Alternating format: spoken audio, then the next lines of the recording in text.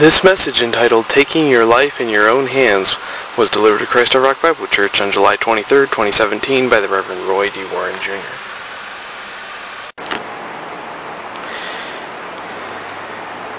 Glory to God. Taking your life in your own hands. That's the title of my message. It kind of morphed a little bit through the week. Kind of made a little changes here and there with it, but that's basically what it comes down to. Taking your life into your own hands. Okay? So let's go ahead and begin with prayer. Father, we want to thank you, dear God, for this gathering today. I want to thank you, Lord, for those visiting with us, and they are certainly more than welcome, dear God, to continue to come. Praise the name of Jesus. I want to thank you, Lord, for gathering our hearts and our spirits, dear God. I do pray once again, Lord, that you would touch Cindy as she's not been well. And I pray, dear God, that you would uh, be upon others, like Joel, who's traveling, and, and uh, all of these other things. And, and we praying earlier, Lord, for Sharon and her uh, health considerations and so forth. And we just, we just bring that all before you, dear God, and we give you the glory. Because we know, Lord, that your hand is on all things. And sometimes when Satan really hits us with things, dear God, we want to just uh, uh, set that aside and, and, and, and we don't want to think, dear God, that this could possibly have anything to do with you.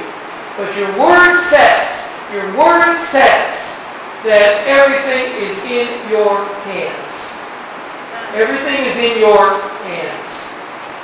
And I, I Lord, I've said this before, uh, I hesitate uh, talking about that or praying about that sometimes because then comes the test. Sometimes the test comes in all kinds of ways. Some maybe are easier than others. Some are tragic even. And I just pray, dear God, that you would just touch our hearts to always cling to this, dear God, that you are in control. You are in control.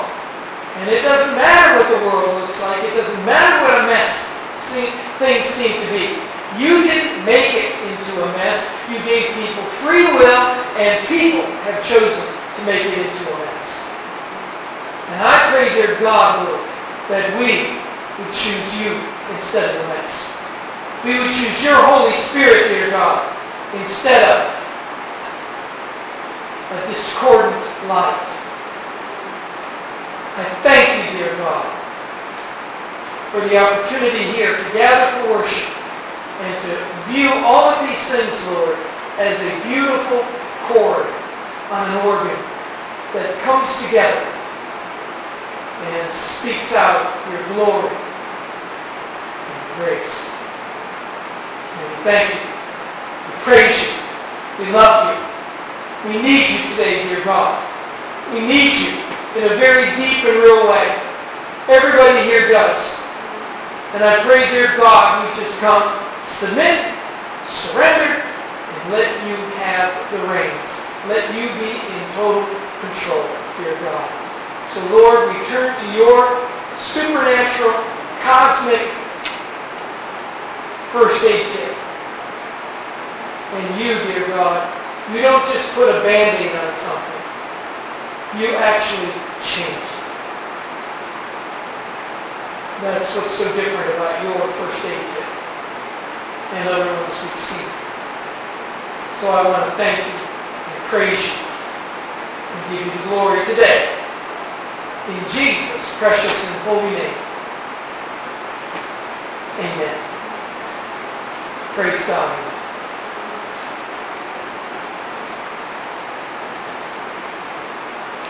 Amen.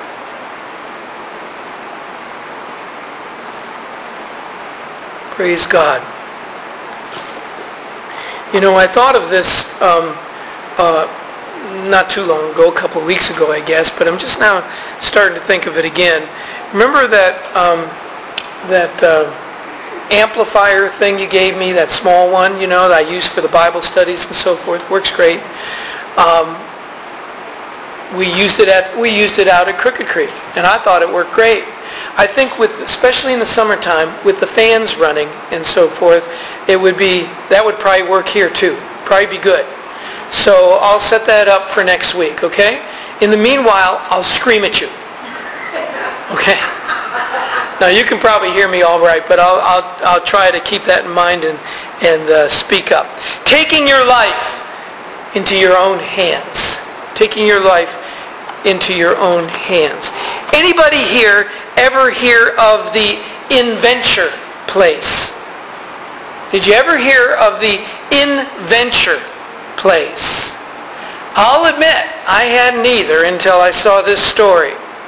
The InVenture place is a museum that is dedicated to the creative process. It was opened to the public on this day, July 23rd. All right? Back in 1995, 22 years ago today, in Akron, Ohio. And ever since it opened, people have been flocking from all over the world to Akron, Ohio, just to see this museum. Now, I'm, I'm sure lots of people have traveled some distances because you know what it's about? It's about inventions. It's called the InVenture Place. It's about inventions. The museum offers hands-on exhibits, special events, interactive programs to help people discover, and I quote, discover the inventor in you. To discover the inventor in you. The National Inventors Hall of Fame was organized in 1973 by the U.S. Patent and Trademark Office and now is uh, now it is called and is known as, now listen to this, the National Council of Intellectual Property Law Associations. Just between you and me and the fence post, leave it to government to make it really complicated. right? The National Council of Intellectual Property Law Associations. Each year, the selection committee of the National Inventors Hall of Fame, and probably George Foreman's right in there, you know, with his grill. You know, he's always pushing for people to call, what's the place called? Invent Help or something. You got an idea, you want to market it, you go ahead and you try to work through this stuff, and you notice on the screen it says, not everybody has success with this. it depends on what your invention is, you know. There can be some uh, good inventions and some not so good ones. Well, this Hall of Fame chooses inventors for induction from a list of people nominated by their peers and by the public. Representatives from national, technical, and scientific organizations make up the committee. As of 2004, the year 2004, 221 inventors have been inducted into the Inventors Hall of Fame. Now there's no doubt we owe a great deal of thanks to many, many dedicated, creative people whose inventions provide practical solutions to problems. They sometimes improve the quality of daily living. I mean, there's all, every, well, everything you, listen people, everything you see around you, everything you got at home, somebody invented. Right? Every tool, every ergonomic whatever, you know, makes it easier on the joints and all. Somebody invented that. Some were by accident and some were on purpose. Unfortunately, we have a tendency to carry the inventive spirit too far. When we start taking it into the spiritual realm, we can somehow, you know, make up our own morality. We can make up our own God, make up our own uh, way to worship, our own, our own, our own. Okay?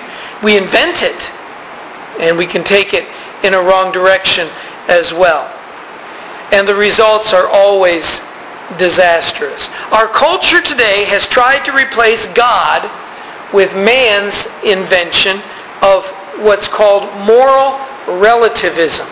In other words, there are no rights and wrongs. There, are, there aren't any blacks and whites. Everything's gray. It's just, you know, that's the way it is. And, and it doesn't matter what you do. You can go, you know, situational ethics and all of that kind of stuff comes in because people don't want somebody bossing them around. A lot of times people don't want God telling them what to do. Okay? So they enter into this, this invented place. It's invented. Somebody made it up. Okay? It's not God's invention. Schools today are teaching children that there are no absolute standards of right or wrong. Just what goes, how you feel, go for it. All these phrases have become so common. Choices depending on the situation. Yet there are absolute standards and God has laid them out in His Word, in His first aid kit. Praise God. Now remember, God's first aid kit is supernatural. This book is the Word of God, and that makes it supernatural. It's infallible. There's no error in it. There's nothing wrong with it. All right? People choose to believe there is. Why? Because they don't want to be submitted to it. Oftentimes people just go ahead and say, well, you know, man wrote it. Well, you know, man took the, the quill in hand and put down the marks on the paper, but the Bible says that God inspired every word in this book. And our God doesn't make mistakes. Our God is not wrong. Amen? So yeah, people actually wrote it down, but the Bible says they wrote it down according to what God gave them to write down. Praise God. Come on. 66 books, some 45 authors all together throughout Old and New Testament, and it all says the same thing. It all points to Jesus. Praise the Lord. Praise the Lord. There are absolute standards. God has laid them out. God knows what they are. And it would behoove us, it would certainly lead us in the right direction if we just plain believed him. Amen? I mean, instead of trying to, well, I need to search this out. I need to find out if this is true. It is true. Amen? Just come to the Lord and say, I know this is true. Well, the fact is, the Bible, many people have tried to prove the Bible wrong and have never done it.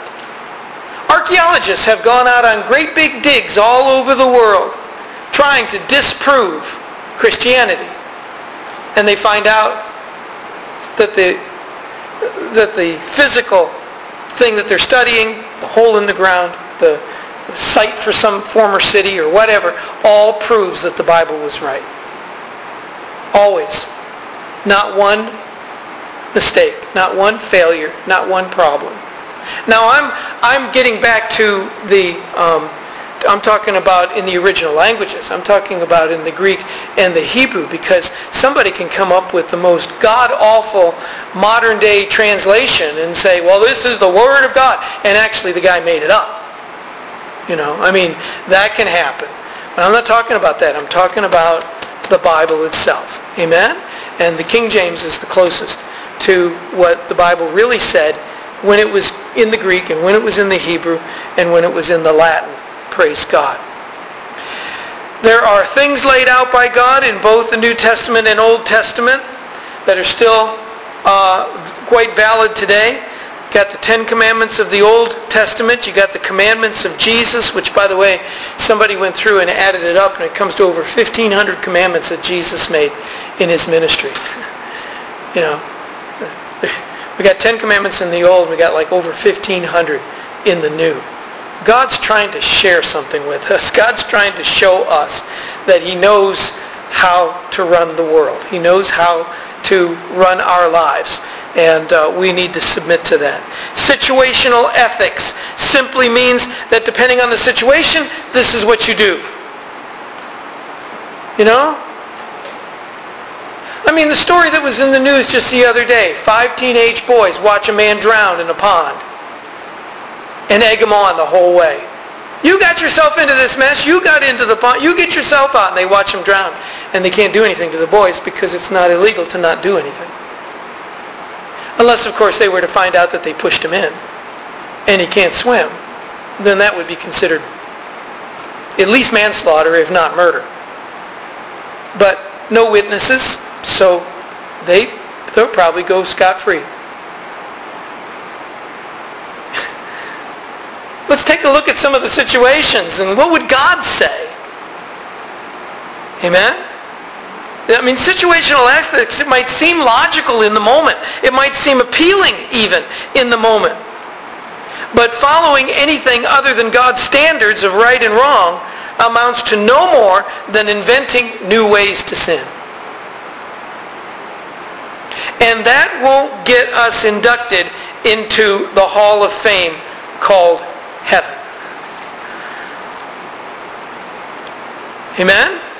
Now, some inventions just happen to happen. Somebody put one chemical in with another, put too much, didn't realize they put too much, and it made something. You know?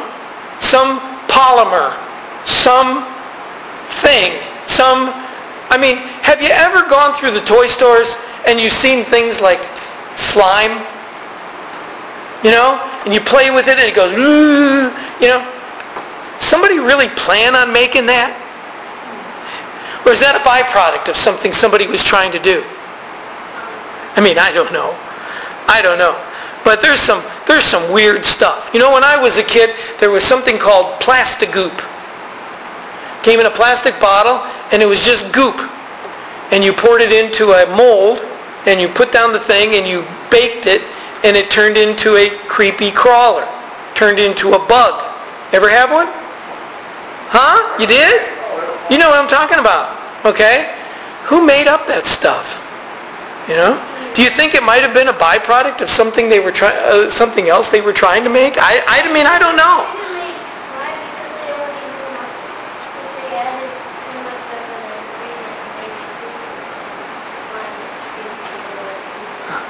Uh, you think?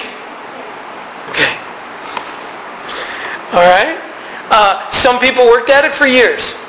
You think of people like Thomas Edison and, you know, um, Alexander Graham Bell. They worked at it. Some, some people did things or came up with things in short periods of time. Some people took long time.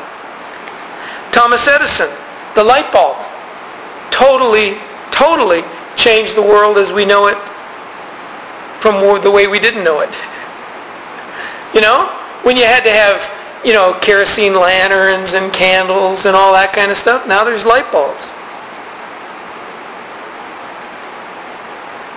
Good, bad, or indifferent, there's, there's light bulbs. All right? What about Alexander Graham Bell, you know, the telephone? It's changed a bit, Huh? It's changed a bit. Used to be a crank thing on the wall and you held one piece here and you put your mouth over here. Used to have, when I was a kid, you, you had a, a phone, it was plugged in, you had a cord on it, you didn't get five feet from that phone. Now everybody runs around with, with you know, these things up against their ears and trying to drive and everything else. And, but that's not Alexander Graham Bell's fault. He invented the telephone. Everybody, somebody else invented all this other stuff that goes along with it. But most inventors, I'll say many, if I can't say most, I'll say many, were scoffed at what they were doing. People look down on them. That's, that's a fool's mission. That's ridiculous. That's never going to come about.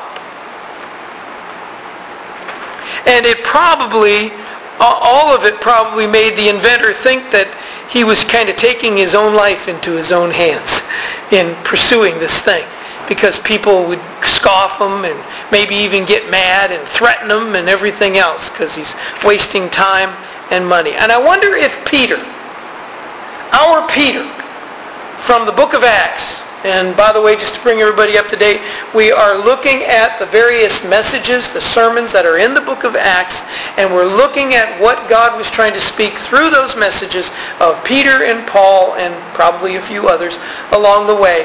And and, and why? For the church. But why that message for the church then? You see, the church isn't supposed to be any different today. The church is supposed to be like the church of 2,000 years ago, the original church. It's supposed to be on fire for God and filled with the Holy Spirit. It's no different than it was back after Pentecost. And the same thing's supposed to be going on today. Amen? So I think it's a good idea to take some time and look at the messages that we find in the book of Acts and see how they apply to today. So, let's do that.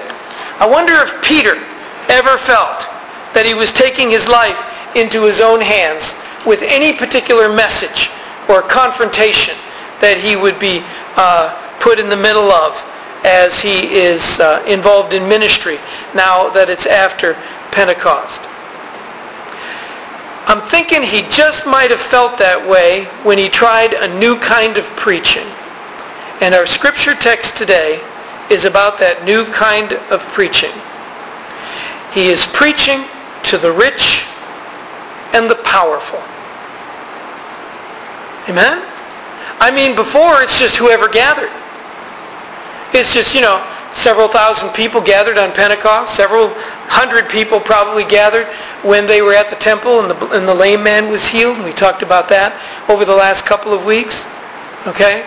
Just, you know, people, everyday people, like us, you know, every day. There's nobody, you know, rich or famous or, you know, ruling the world or anything like that. But he had a time when he had the rich and the famous right there in the pew, so to speak. And so he gave them a message. And we're going to work together at this. We're going to see what he gave them. Okay? So I want you to tell the story, and then I'll explain it. Okay? So Acts chapter 4, verses 1 through 4. Acts chapter 4, verses 1 through 4.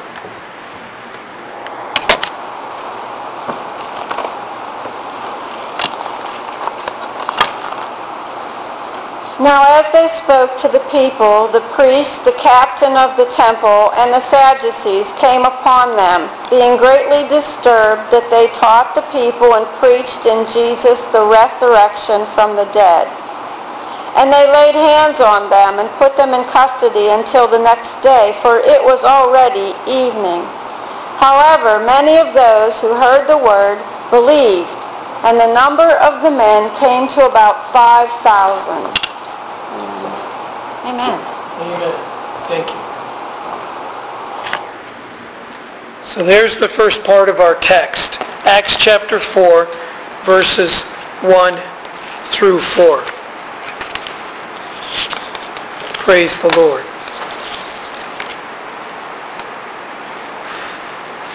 Amen.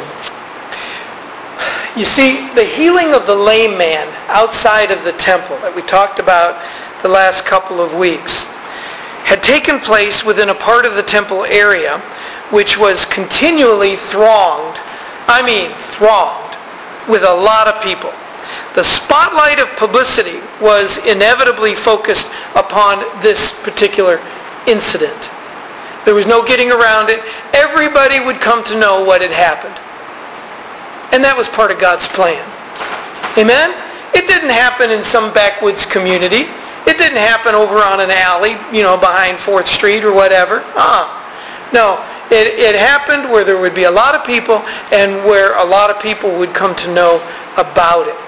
The gate beautiful that is mentioned in this story was the gate from which the court of the Gentiles uh, came to the, uh, connected with, so to speak, the court for the women in the temple.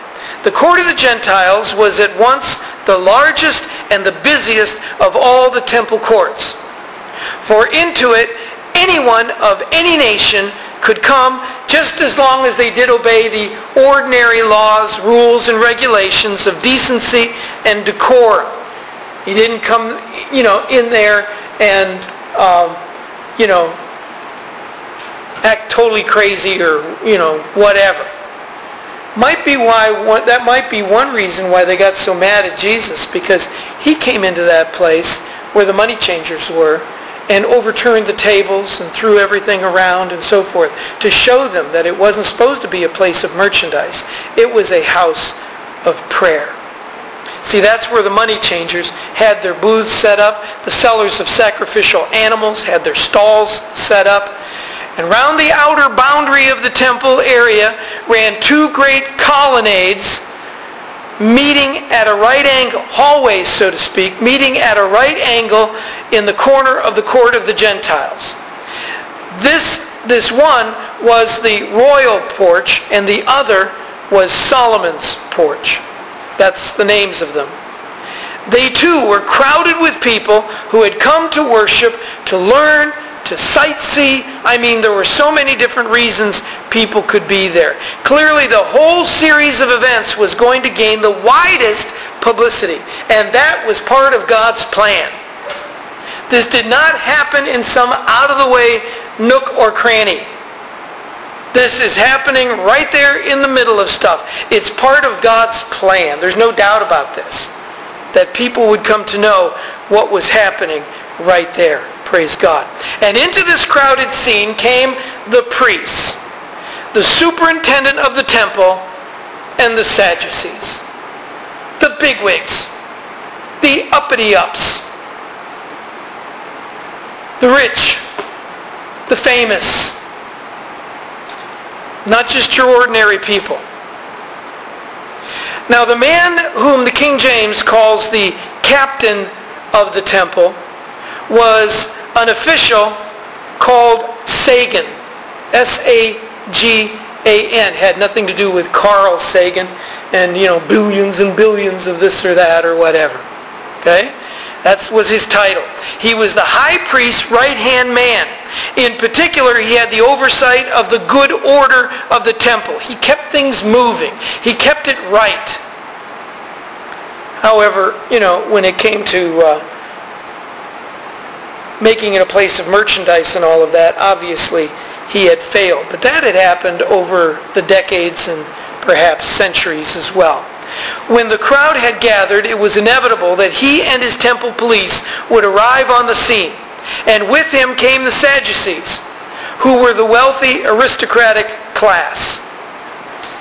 There were not many of them, but they were rich. And they had great influence. The whole matter annoyed them very greatly for two reasons. First, they did not believe in the resurrection of the dead. Everybody knew that. So when Jesus comes along and starts talking about and actually raising people from the dead and himself being raised from the dead, he stirred up a real, what, nest of honeybees? a real bucket, you know, uh, Pandora's box. And it was this very truth that the apostles were proclaiming, the resurrection of the dead. Now, someone once said, you see, that's why they're called Sadducees, because they're sad, you see. Did anybody, did anybody here make that up? Who made that up? I thought it was one of you guys. No? Karen? You heard it somewhere maybe. Karen. Karen? I don't know. I- Oh, oh is that, oh, she's the one that mentioned it, so maybe she's the one that came up with it. Could be. They're sad, you see. Why? Because they don't believe in the resurrection. It does help you to remember who they are and what they believe and what they don't believe, doesn't it? Well, secondly, because they were wealthy aristocrats, the Sadducean party collaborated, okay, or corroborated, maybe would be a better word for it, uh, with the rulers of the day. Who was what? The Romans. So these Sadducees were in tight with the Romans. And why? For their own necks, for their own good. You know, they tried to keep things calm. They tried to keep things, you know, between the Romans and the Sadducees. They worked at keeping a good relationship between what, he, what they considered a good relationship between the Romans and the Jewish people. Okay? Why? Because the Romans could take away all the benefits they had given the Jews. They were allowed to worship. They were allowed to have their own temple. They were allowed to have their synagogues. They were allowed all of this stuff. And it could be taken away in a moment's notice. So let's keep the status quo. Let's keep it nice and friendly. Let's, let's keep everybody, you know, liking each other and so forth. They tried to keep on friendly terms with the Romans in order that they might retain, that they might keep their wealth, their comfort, their prestige, and their power. The Roman govern- government was quite tolerant on things like this. But when it came to public disorder, they were not tolerant at all. They were absolutely merciless. This is what Pilate in the trial of Jesus was worried about. And they did they they turned they actually did what they said they were going to do because he you know wasn't uh, getting along with the Roman or with the uh, Jews at that time and wanted to release Jesus. They actually turned him in. They reported him to Caesar. And a few years later, maybe it was only a year later, he was called back to Rome and we don't know exactly what happens to him after that, but, you know, he was scared. He was scared. He was taking his life into his own hands, and he was scared stiff. The Sadducees were sure of that. They knew that if the apostles were allowed to go unchecked, there would be riots, there would be civil disorder, that would all follow disastrous consequences to their status. The Romans would have a fit. The Romans would cut off the synagogues and the temple and all of the worship and the sacrifices and all of that and, and put them almost in slave labor. They were quite sure of that. Therefore, they proposed to nip this movement in the bud. And that is why Peter and John were so promptly arrested. Do you ever wonder about that? I mean, they didn't do that much. And all of a sudden, man, they're dragged off to jail. They're, they're arrested. Well, that's why. They wanted to stop any riot that might have taken place, any place of discord. It is a terrible example of a party of men who, in order to retain their vested interests, would not themselves listen to the truth or give anyone else a chance to hear it. It was a very stifling proposition everybody would be affected. I mean, I mean, if, if their status changed and the Romans really buckled down, everything would have changed. It would have been a real mess for them. So they just tried to keep things nice. And by the way, that doesn't work either. Because there is true and there is false. Amen? Praise the name of Jesus. Glory be to God. I want to go into the next section of Scripture, the last section that we're going to be looking at here today, and that's Acts chapter 4, verses 5 through 12. Acts chapter 4, verses 5 through 12.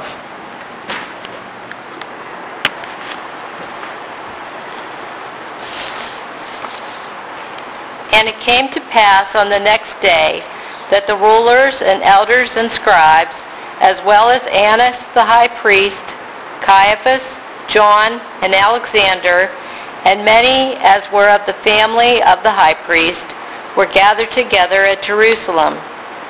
And when they had set them in the midst, they asked, By what power or by what name have you done this? Then Peter, filled with the Holy Spirit, said to them, rulers of the people and elders of Israel, if we this day are judged for a good deed done to a helpless man, by what means he has been made well, let us let it be known to all and to all the people of Israel that by the name of Jesus Christ of Nazareth, whom you cru- crucified, whom God raised from the dead, and by whom him this man stands before you whole. This is the stone which was rejected by you builders, which is become the chief cornerstone. Now as there now is there nor is there salvation in any other, for there is no other name under heaven given among men by which we must be saved. Amen. Praise God. This is Peter's message. This is the sermon. that we're talking about. It's short and it's sweet. There it is right there. Jesus who is who he said he was. He is the Son of God. He's the one who's truly in control. He's the Messiah. You crucified him. All right? And, and it made it clear he was the stone that you rejected, you builders rejected, and he has become the head of the corner. In other words, people, you blew it. In other words, people, you blew it.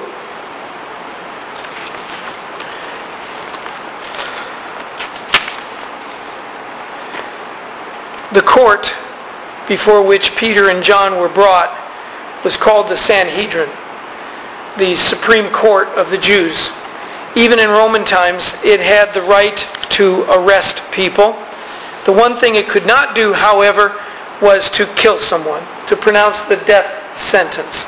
There was only one reason for the death sentence that they, that they could do, that they could pronounce, um, was that uh, if a Gentile trespassed into the inner courts of the temple, that person could be put to death. That was the only death penalty that they could invoke. So that's why the Jews got the Romans involved in getting rid of Jesus, because they couldn't kill him themselves. Now this Sanhedrin had 71 members. That's a lot of people for a committee meeting, I want to tell you. The high priest was the ex officio priest. In the Sanhedrin, there were priests, practically all of whom were Sadducees. Nobody believed in the power of the resurrection life. And their one desire was to preserve the status quo, that, the, that their own status quo might not be lessened. In other words, they had a good gig going, they had a good thing going, and they wanted to keep it. They didn't want the Romans coming in and messing up the whole thing. They were making money on it. They were selling animals, you know, in the in the temple. They would pronounce animals that were good for sacrifice, blem, blem, without blemish. They would pronounce them that they were blemished, and they would make the people buy new animals from them at a greatly inflated price. They had a good gig going, and they didn't want to lose it. There were scribes who were the experts of the traditional law. There were Pharisees who were the fanatics for the law. There were the elders who were respected men in the community. This is a very unusual congregation. That's what I said. This is going to be a different time of preaching than Peter had ever known and probably would ever know. All the rich and famous, all the rulers, all the people that could even kill him are gathered. And I say that because they could then take him to the Romans and the Romans could kill him. Right? They did it for Jesus. Why couldn't they do it for the lead disciple? Namely Peter. He's taking his life into his own hands, I guess is the way we would put it. He, this congregation is not filled with your average Josephs.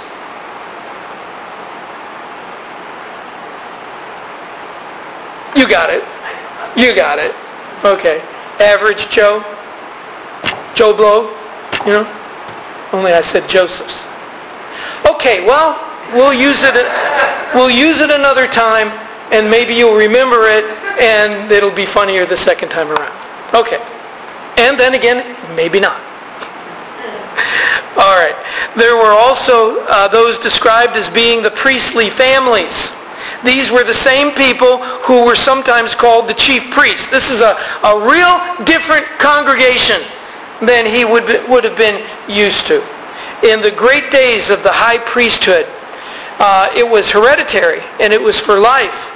But in Roman times, the office of the high priest was subject to all kinds of intrigue and bribery and uh, cheating and stealing and everything else, corruption, and the high priest rose and fell so that between 37 BC and 67 AD, there were no fewer than 28 high priests. Now for an office that's supposed to be covered by hereditary concerns, you know, father is the high priest and the son is the high priest, the grandson is the high priest, and so forth, that's a lot of people. 28 different high priests. It's got a high turnover rate. But even after a high priest had been deposed, he often remained the power behind the throne. And we see this in the trial of Jesus, when both Annas and Caiaphas are involved in the trial of Jesus. When one is the high priest and one is his father-in-law who used to be the high priest. See what I mean? Secondly, although the high priesthood had ceased to be hereditary, it was still the prerogative of very few families. Of the 28 high priests already mentioned, six, all but six rather, came from four priestly families. So it's still very concentrated and only coming from a small group of people. The members of these families had the special prestige, and it is they who were known as the chief priests. Today we would call it nepotism. And we've seen it in our own history. I'm not saying it's, neither, it's good or bad or indifferent or anything, but nepotism is simply where you, uh, you bring in your close family into the position, into the office, and then you work together with a close family member. We saw this back with the Kennedys. When John Kennedy was president, Bobby Kennedy was attorney, attorney general, and Teddy Kennedy was a senator. And there was all kinds of accusation of nepotism back then, that he's, he's got all these people in his pockets, so to speak, because they're family members. And then now you know today in this administration, there's a son-in-law that's way at the top. There's a, you know, there's a, a, son that's, you know, up there too and has official responsibilities and all that. That's also been called nepotism. I'm not saying it's illegal or anything. It's just that's what it is. It's, it's incorporating people that are close to you and, and even family, actual family members um, into these spots. When we read Peter's sermon, and remember to whom it was spoken, the rich and the famous, the rulers, the, the synagogue leaders, the temple leaders, the scribes, the Pharisees, the Sadducees. We recognize one of the world's greatest demonstrations of courage. And now I'm talking about Peter. To get up in that pulpit, so to speak, and talk to all these people that could do all kinds of stuff to him in the long run.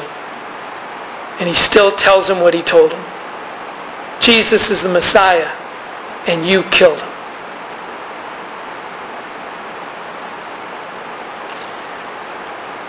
He was taking his own life into his own hands.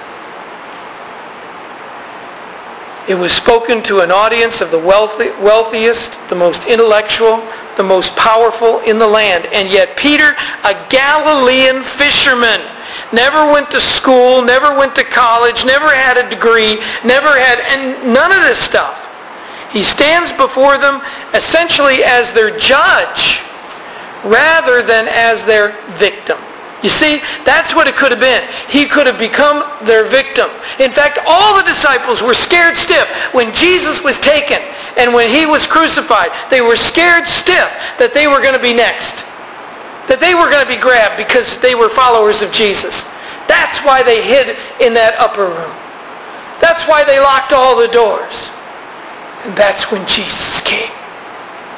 That's when Jesus came, appeared to them in the middle of the room, and proved, absolutely proved who he was.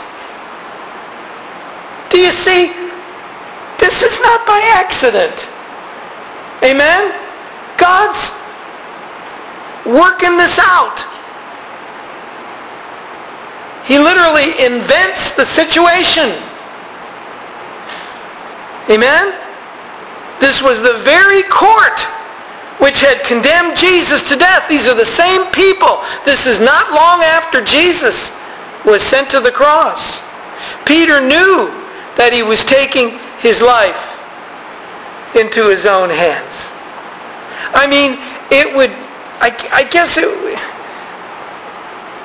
the only thing I could, I could possibly um, equate this to might be when we were back in the Presbyterian church and if I had to stand up and, and either speak or preach or teach or whatever to a whole room full of Presbyterian pastors, that might be kind of a similar thing. And yet I stood, the, stood up and told them that God's Word is God's Word. When half of them believed it's just a history book and we don't have to listen to it anymore. And they said so. We don't have to listen to this anymore. This, this book is just a history book. It's not God's Word. Pastors saying that. Can you imagine? Pastors saying that. That's why the church is in such a mess nowadays. Because we got pastors that are leading people to not believe God's Word. I told you about the so-called revival down in Florida.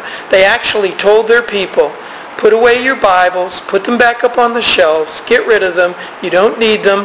God's doing a new thing. Get rid of your Bibles. Actually happened. I saw it on videotape.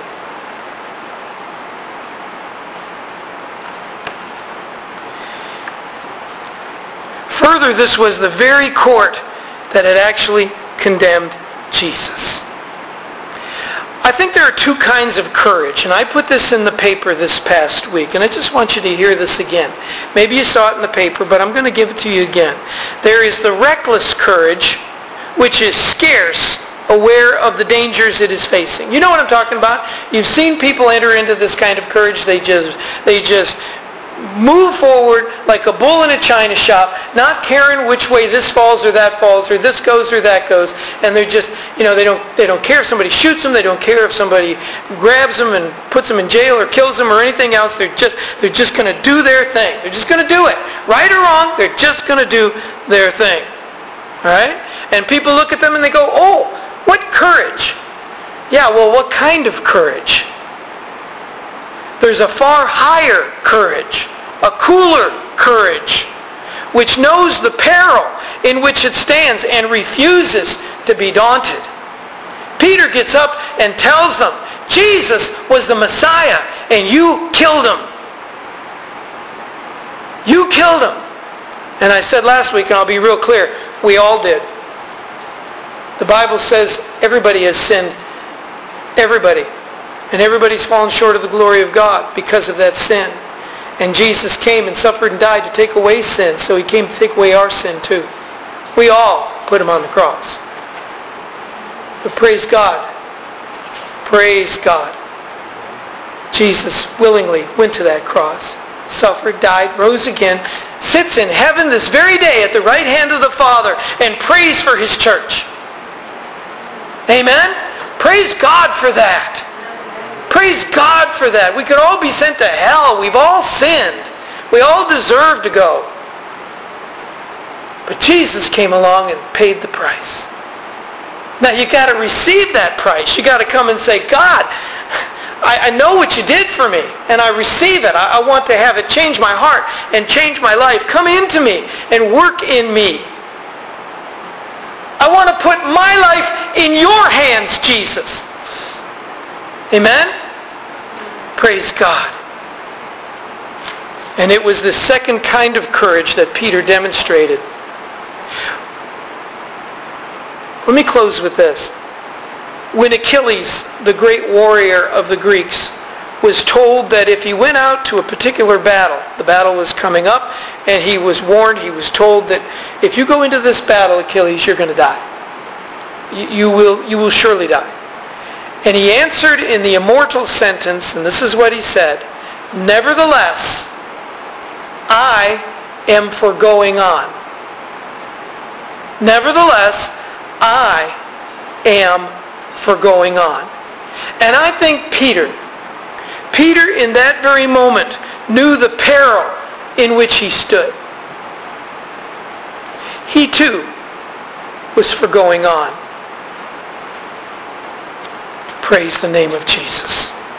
Glory be to God. He too was for going on. We too are to be for going on.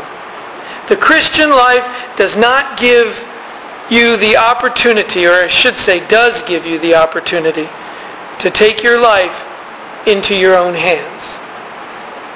However, you keep going on with Jesus, and he will make it real clear to you.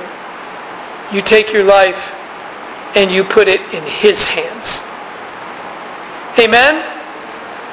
You put, it, you put your life in his hands. But I think it goes even further than that. We are actually placing our lives in the hands of God Almighty. Amen? And we need to know that. We need to be, we need to see that. We need to come away from our own understanding on things and our own self-life and what we think and I'm going to do this and I'm going to do that. No, we give it over to God. We, we say, Jesus, here it is. Here's my life. Take it. Praise God. Transform it. Conform it. And that is how we too can be in favor of going on in the Christian life. Amen? All of the way, going on all of the way to the Inventors Hall of Fame. God is the grand inventor. Amen? And he's got his own Hall of Fame. It's called heaven. Amen? Take your life into your own hands, but don't leave them there. Take that life and turn it over to the hands of Almighty God. Let Jesus be in control. Let him take it all the way. And we will indeed then be in favor of going on. Amen? Going on with Jesus. You can't go wrong with that. I'm telling you, he's never made a mistake. He's never flubbed up life once. Oh, it looks like it, sure. Here's this young guy, goes to the cross, gets nailed onto there, suffers and dies, you know, and buried and all of that. Looks like he really blew it. He didn't blow it. He was doing God's will. Amen? Because God so loved the world that he gave his only begotten Son, that whosoever would believe in him would not perish, but have everlasting life. Amen? He's calling for every one of us to go on. Be in favor of going on, but not in your own strength anymore. Now it's in the strength of God. Now it's in the power of the Holy Spirit. Amen? Get rid of the self-life. Tell it to take a hike. Get, get lost. You know? Crucify it. And let Jesus have full control. Amen? Praise God. Praise God. Father, and I want to thank you, Lord. I want to thank you, dear God, for this truth here today and these scriptures that have been presented as well, dear God. They all point the way. They all make it clear that it's all about Jesus. Hallelujah. It's all about the Lord of glory. It's all about an almighty God. It's all about you and not us and not our circumstances and not our problems. It's all about giving it all over into the hands of the Lord and letting you have the glory. We thank you. We praise you, dear God. In Jesus' precious and holy name, amen. Praise God. Amen. Hallelujah. I'd like you to turn to uh, um, Oh, I'll tell you what. There's a perfect opportunity. Uh, I got a blank spot with the last hymn. Somebody look up Take My Life and Let It Be. Amen?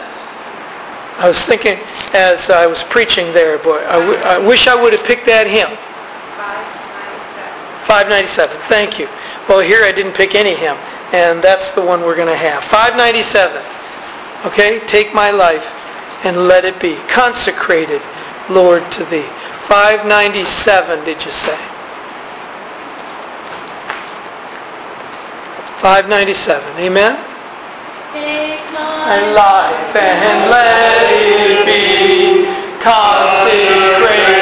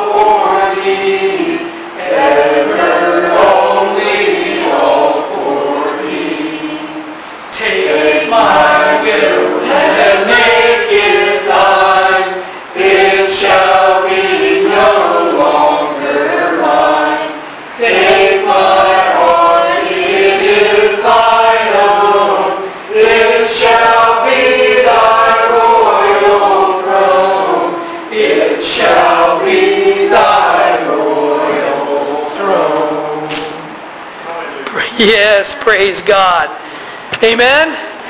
Hallelujah. Glory to God. Got a special benediction here. Praise the Lord. Praise the Lord. Now unto him that is able to do exceeding abundantly above all that we ask or even think, according to the power that worketh in us, unto him be glory in the church by Christ Jesus, and throughout all ages, world without end. Amen. In the name of the Father, and of the Son, and of the Holy Spirit, go in God's peace. Amen. Amen. Praise the Lord. Hallelujah. Love Jesus. Amen. Love Jesus. Praise the Lord. Hallelujah. Be his church. Amen. Glory to God. Amen.